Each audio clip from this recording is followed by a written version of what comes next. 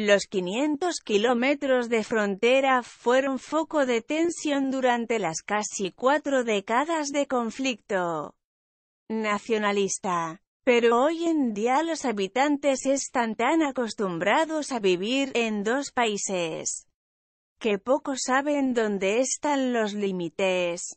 ¿Qué pasará al y cuando Reino Unido se separe de la UE?